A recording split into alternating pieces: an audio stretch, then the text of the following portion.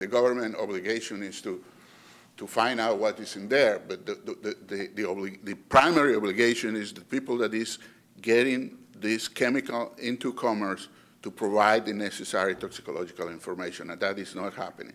And that is something that we are going to be looking very carefully. The PPH, again, we don't know how much of that, in your investigation, will you be able to determine how much of that has been released? How much of that is in this chemical or in this tank?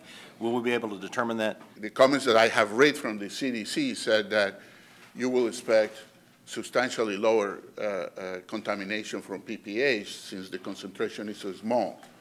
But, but it's still, you know, when, when you are dealing with uh, very uh, active chemicals, I mean, these chemicals are created in industry to, to, to be reactive and to do the, the, the uh, chemical work, even on in small quantities, they affect uh, human beings. They have the potential to affect human beings, and we should be worried about it.